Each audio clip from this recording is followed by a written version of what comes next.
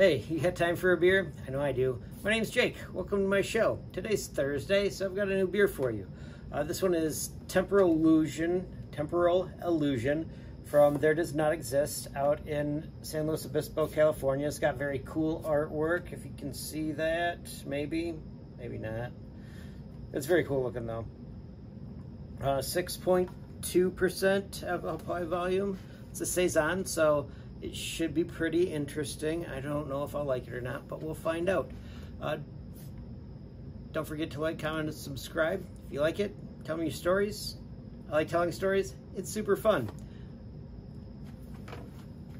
So, let's get this guy started. All right, so there does not exist. We had a really super cool vibe there. It's like a like a coffee house but they serve beer instead of coffee. Um, lots of IPAs. This should be interesting. I mean, it's a little bit old. It's been a little bit since I came back. Um, I mean, it's not like, uh, it's not quite a month old yet. So it shouldn't be terrible that I know of but saisons are always interesting to me. Yeah, that farmhouse beer thing, not generally a thing that I am appreciative of 100% of the time. They always sound like they should be really good to me, but also they they tend to be weird. Um, not not a flavor that I'm a fan of. Very yeasty, if you will. Um, saisons that this might remind me of. Um, what it should be like, I mean, it, generally they are clearer.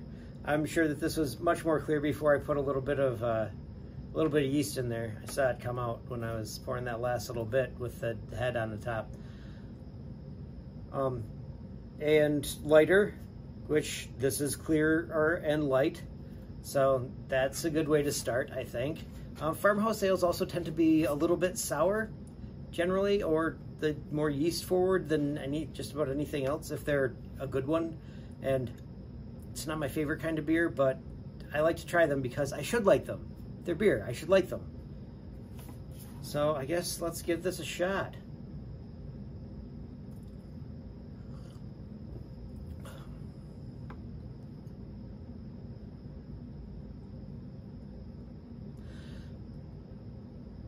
Okay, so this is one of the ones that I like.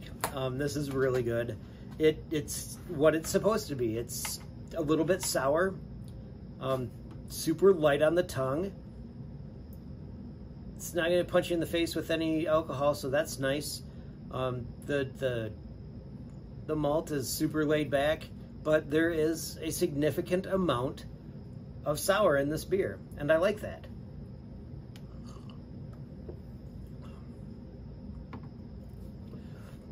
This beer kind of reminds me of um, of an oarsman.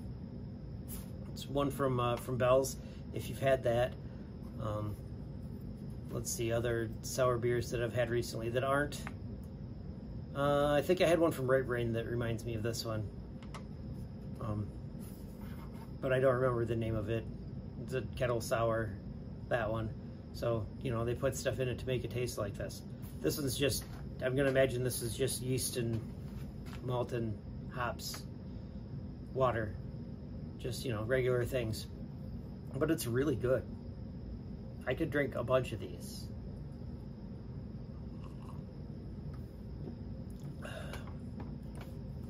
I'd probably have a super heavy hangover the next day, but would probably be worth it. This is good.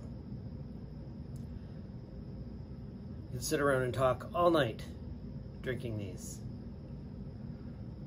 Um, yeah, so what does this remind me of? Okay, so the first time I had Wild One from Bell's, I went to Bell's with a friend of mine that used to live down there. Um, Johnny B was a grad student at Western in Kalamazoo there, and um, we decided, hey, this seems like a good weekend to go to to Bell's it, it, was a very good weekend to go to Bell's. It was the 25th anniversary. So I got like a pin and whatnot. But the thing that they had on tap that look, really looked interesting was a brown sour they called the Wild One. And that one was like this, a little bit more sweet because dar- the darker because of the darker malt. It's really nice, and you never see it anywhere outside of the Eccentric Cafe, which is unfortunate because I really like that beer, and I would like to have it other places.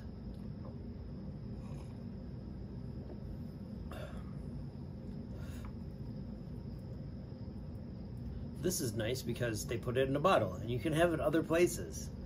I didn't get to drink that one here or there, but then there does not exist, so I don't know. Here, here does, so it's even better to have it here, I suppose.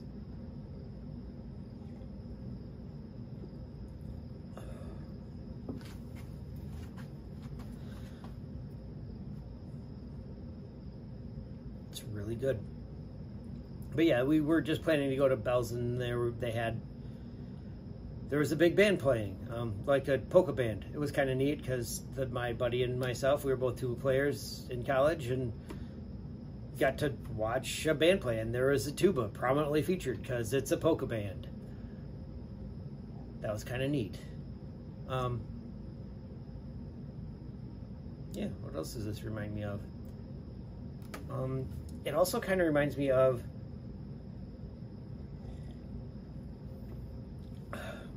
a cider I had once that another friend, tuba player, go figure, made.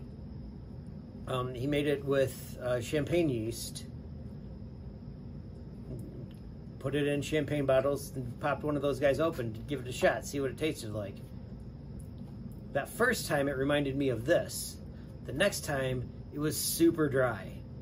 Like it didn't really taste like there was alcohol in it. He's like, this is that same one that we made before, but this one is that it's sat and conditioned in the bottle and it's it's better now. And it was. It was I I didn't get a hangover the next day. One, that was real nice. Two, it was tasty. Nothing special, just apples and and then that's about it. It tastes like apples with that were bubbly. It was nice. Real good.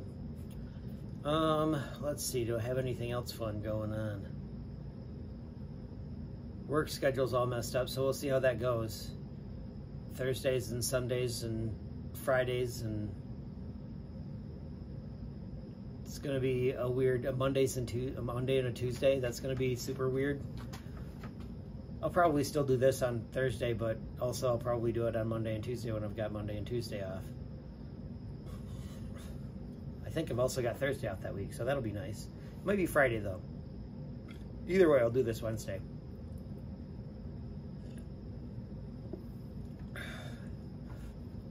I'll do this Thursday, not Wednesday. Because I like doing this. It's fun.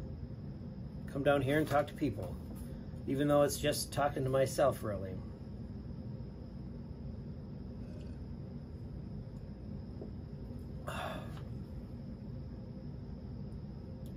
Kind of wish I had another one of these.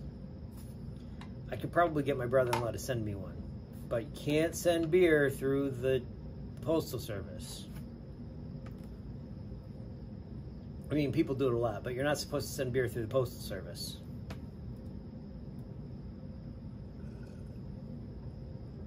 If you do send beer through the postal service, I have heard that the flat rate boxes are super are, are super easy to use. Just make sure that everything's packed really well and sealed up tight. And then stuff doesn't get everywhere and you don't have to pay extra. And it gets there in like three days, which is nice. I mean, because here, it's supposed to get there in two days, but I, I live here, so it gets here in three days. Because I live kind of in the middle of nowhere. If I lived where my brother-in-law lives, it would get here and it would get there in two days because that's the way things work for me, apparently.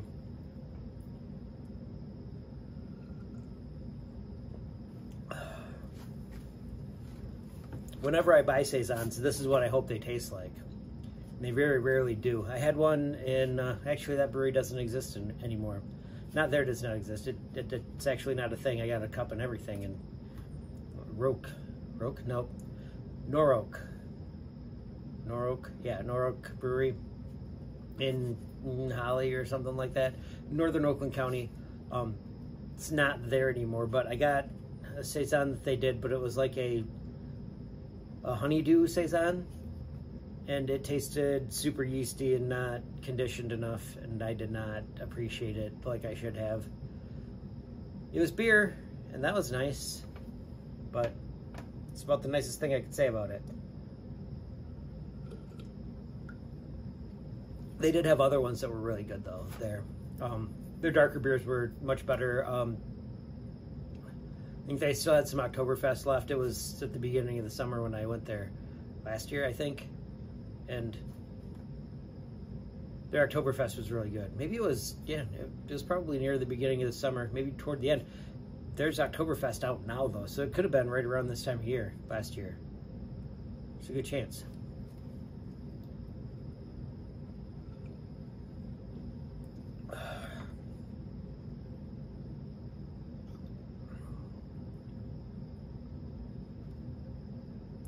Almost there.